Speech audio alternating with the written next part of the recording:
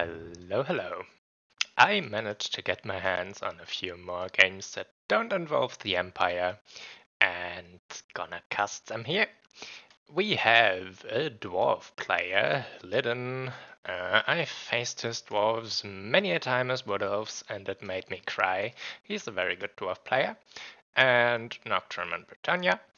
Um, same goes for him. Very good Bretonnia player. So, uh, single faction tournament battle, two mains clashing, and Itza is generally a map that dwarves very much like because it is small and you can shoot arty from your spawn. And going into the army analysis, that dwarf army feels generally like a bit of everything. We have a cannon, we have some great weapon warriors, we have some shielded, we have a slayer, we have a crossbow, a single miner, a single gyro with the brimstone gun, so the new flamethrower.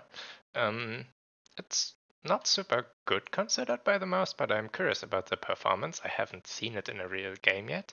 Then Grombrindal with discouraged, yes, his or his strong short time duelist buff, I'd call it. Uh, the flash bombs to really screw a knight, and I don't really know what that is. I guess units around him get unbreakable for a short duration. Not like dwarves aren't unbreakable factually already. Um, Blood Oath, Felix to heal Grombrindal up. The only source of healing that dwarves can get for in general, except war machines and Malakai, I guess. Uh, a Rune Lord, also with Rune of Slowness, no surprises here, and Frost and Ruin, yeah, a usual combination. Now, Bretonnia's side is a peasant swarm mostly, and we also have a Felix, a paladin, Felix and Fey Enchantress. That's an unusual combination. The Fey can heal herself, so you usually don't see Felix combined, but hey, we will see. Is that paladin on foot? Actually, yes. That is funny. Um, Fey Enchantress, the new strongly buffed Dwellers, it is also strong even in the into the 35% uh, magic resistance of the dwarves, spell resistance, I should say, and the usual set of the Fey, um, the Mortis engine, favor of the Fey buffing things up, and the Comet Bound spell. Uh, a few peasant archers. And then I don't go through everything here individually. A whole tide of peasants and a few foot squires. It's a usual relic race. And then I leave it running. So the gyros actually get a decent amount of damage from the peasants here. Need to be a bit careful. So there's the first shot and Yeah, I guess if it wasn't wasn't peasants, it would be fine. 50 values, not too bad. Uh, for units it is very hard to shut down and uninteractive with their amazing speed, above 100. Uh, it can easily escape all um, Bretonnian air tools if it's properly managed and not getting hit by some slows or something. The air combat usually is a bit janky, so um, you need a strong speed increase. Yeah, it's not too... Mm -hmm. 150.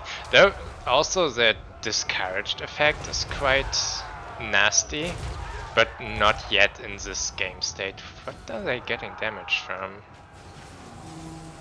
Eh? crossbows? Cannons? Weird. So here we have Long Drong Slayer Pirates, which is interesting. They're a very low ammunition uh, unit, and now they're gonna shoot into peasants, which isn't very efficient ammo spent. Uh, okay, here's Thunderers with Scratch Rakers, is that right? Yes. I, I'm not too sure about the new dwarf units. Uh, um, here's a rather interesting fight, and Felix versus Felix action. Uh, Paladin, there's some, some blasting charges trying to clear off the infantry. The infantry really helps the Bretonnian side by soaking up damage uh, from the lords. Oh, he got unbreakable. That's what Grumbler, the ability I wondered about earlier, probably does. A comet coming from for the miners, and I would give a strategical analysis of what the people here think, but honestly they just full force front frontal go for it. There's uh, honor and the glorious charge. and for both sides. uh, not a lot of knights yet, which is to some degree understandable because there's this cannon on full overwatch. Um, instead we get a new wave of foot squires. Um, Bretonnia holding this point, actually also holding the mid. Dwarfs are more invested into shooting here, but yeah, they can afford to value trade a bit. Bretonnia isn't very good at holding points, especially uh, their leadership is weak. Usually, foot squires are okay in leadership, um, and dwarves have a lot of artillery fire debuffs, discourage debuffs on the flames, and such stuff. Fey Enchantress trying to get sniped by cannons, but they can't really hit her, which is lucky. Um, sometimes you have them just completely... Oh, so we here have the Dwellers Below, probably upgraded, the upgraded version is way stronger, into a unit of Slayers and some surrounding scraps. Almost a whole Slayer down. That's very efficient spend. Ooh. That that's a okay. It's not as much a blob as I thought it was. Uh, it's mainly just two two infantry units left here. Uh, the rest is just icons from the single entities. Dwarf shooting still going on. How is the cannon? Yeah, the cannon only has peasants to shoot at. Um, so its value is not super great. Oh, here we have a Felix routed to the edge. He noticed. Um, I think he tried to chase him with uh, his own Felix, but was a bit blocked. Grombrindal actually lost against the Paladin and Felix, or I guess, I don't know what else would have done it. A Comet almost dodged here, uh, but short Yeah, those are actually a slow unit. There's so many dwarf units now that are fairly fast, actually, like here Giant Slayer's 40, uh, Growler's not. Um, and some of the Ranger variants. Uh, so...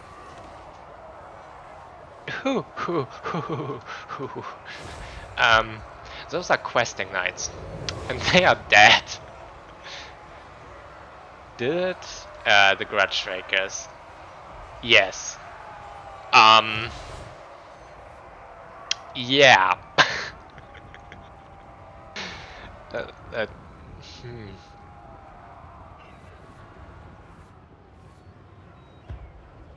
The cannon is not the only thing. Oh, Jesus that, that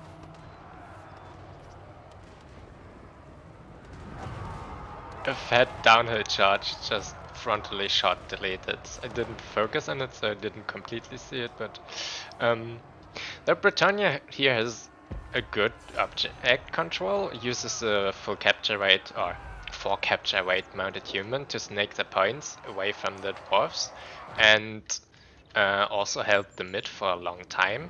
So they have some decent lead here, but the longer the game goes, the harder it's gonna get. Um, until maybe this cannon, cannon goes offline. Though if it's unsummoned from full health, you can get it quickly back. Um, those are also questing knights uh, getting hit by the cannon. And yeah, you, you can see the traces of the cannonballs here.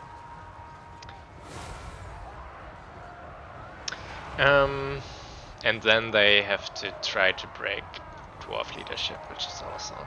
Oh, it's like actually force path into the cannon, but the calf does stupid things. Calf be like that sometimes. Um, the Fey. The Fey is probably the redeeming factor here. Fact factor. Uh, don't know what I said. Um, she mortars things down, and since actually Grombrindal and Felix had to be zoned out, which are the main things that can kill her, um, she got a lot of value from the mortars and of course her magic. The magic was probably more deciding factor. They doing good. They're doing good. Yeah, yeah. um, the cannon got compromised, but it almost had no ammo left, so it's not as valuable. Though, if the unit um, dies or is routed off the field, uh, has to route off the field, it takes way longer for the cannon to come back. That Discord ping was mine.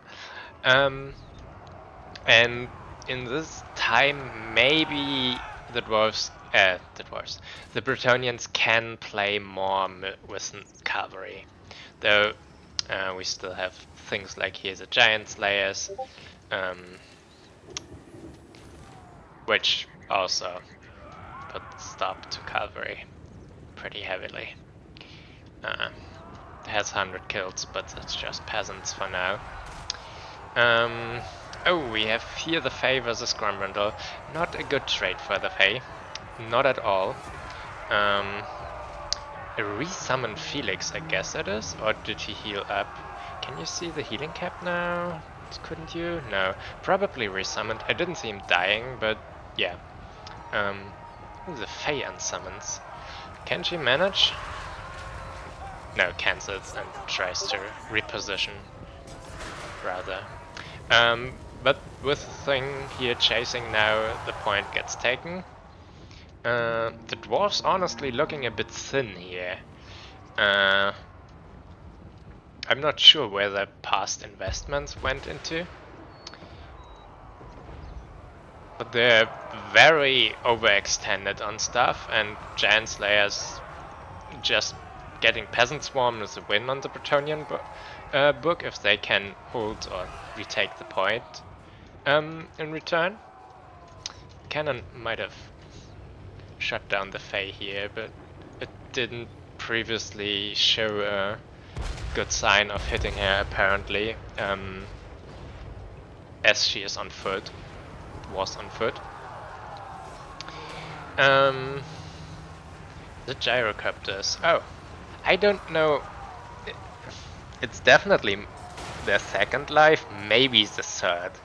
I suspect it's a third life. Um, the player really cycled them through. And uh, here we have a mass route from the Bretonnian side. Oh, how very peasant of you. Yeah, this is common occurrence. Um, here, unbreakable slayers just holding down such a huge heart. Um, the mid get taken down but uh, the dwarves now have to triple cap, so they have to take this point too, which is completely possible on this map for them. On others it might be an actual problem. Um, so yeah, I suspect the Bretonnian side will now one point, reinforce this point as much as they can, and second, rally their forces here and summon maybe a few new to at least put pressure in here so that a reasonable amount of forces has to be dedicated to this side and the dwarves can't just full force engage here. Um, so yeah, that's where the small map um, also works against the dwarves, since they're still fairly slow and can't bounce between objectives quickly, um, but the Bretonnians can. Um, so it, it's a bit of a double-edged blade. They can uh, come to the objectives rather quickly, um, but also the opponent can kite them more.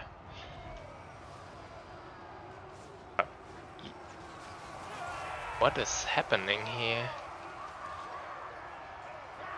Was that... No, it wasn't a cannon. Was that just a blasting charge volley? Maybe they got flash bomb discouraged. Why are they? Oh, it's uh, that's from Grumbler.x. Rune X. Um, yeah, this damage must. Now the flash bomb going down. The my oh, it's also melee defense down. So yeah, hmm. And they are fairly buffed with frenzy. Uh, not looking good for the knights. the blasting charge volley must have really taken like a third of their HP. Which is surprising to me, since it's not a lot of explosion, uh, uh, armor piercing, but um, charging and forwards moving units have some habit of getting more models in the same explosion radius than um, standing units. Here's the next volley, deleting a man-at-arms shields um, was really important to shut down this unit, but mm, it didn't quite work even with the 1100 gold questing knight. Um, single entities and some foot squares taking this point here. Here isn't a very strong force. Um, now has to choose between trying to hold this side or trying to take this. If either of it works, they win, because dwarves don't really have the time anymore to even get things into the points with their speed. Um, they barely restored capture rate here, but that's not gonna hold for long. Their forces are gonna dwindle way faster than Oh, here's some 8 capture rate returning. Maybe if... No, the point had fallen. Um, and now they would maybe be... Uh, no, all the forces here also got deleted. Um, that's not looking super good, but Bretonnia has a bit of time to try to take this back before um, they can... Uh, before the other side can win on a double cap. Um, at this point, th there's all hope, would be all hope lost. And if you reach this end phase, um, the clock swings around quickly and is really merciless. Um, but Bretonnia takes it. They just have those three, or yeah, cheap cavalry and cavalry capture weight to outcapture this point here. And don't really try to fight, just some, I, I say, fake charges, and they take the point back. And now dwarves don't have time to um, take this back. It's over in 10 seconds. Uh, the site here was an distraction to a few units that the dwarves really had needed over there. GG. A very low Knights Bretonnia army on this map and instead opting for more cheap capture weight um, with Bossman. It was only two? Maybe it would have been to have them in the main army and actually take the points first now with the unlocks. Um, but yeah, uh, the Guardians on 5. Uh, this is so sad, the values on the knights here, but the dwarves. You've seen the few situations the cannon, the blasting charges. Uh, the gyrocopters, I don't know how often they lived. Three times? Three times at least, at the very least. Uh, maybe four. So that price is, yeah. I don't know if the dwarves had different things to summon except to cycle them at some point, but oh, I, I can't call them bad though. I, if, and the dwarf player probably also knows better than uh, I what really what really is the thing with them. Uh, especially since they got reworked. Grombrindal, yeah, mm, the single entity fighter and also the flash bombs and discourage and everything breaking ranks of Bretonnians, causing mass routes. Though he got his ass kicked in the beginning somehow a bit. I don't know how really that happened. Usually he doesn't, uh, but instead chops everything that is so daring to stand in his vicinity. Um, Fey, yeah, I think it was mostly her magic and a bit of the um, what's that called? Mortis engine. Since she had uh, to be unsummoned at some point when things really were kinda needed still to win on a combat based side. But yeah, not taking the leadership debuff is of course a huge priority. Felix, yeah, I think he lived twice, but he also paid for himself twice, so uh, good choice, I guess. Just for his combat prowess, not necessarily the healing, or rather self-healing. He also heals himself, which is kinda strong. Um, yeah, the foot squares probably all lived multiple times and not too amazing. So yeah, from the Bretonnian side, even with their low capture weight, it was a pure capture weight approach they did here. And the Mounted Yeoman played a huge role in this. I think they were only summoned once. Maybe. But you've seen what they did to the charging questing knights. Amazing unit, apparently. I'm scared of them was facing them with other things. Um, yeah. So much for this, and I'll probably do another one later today um, since I have some replays. So, see you then.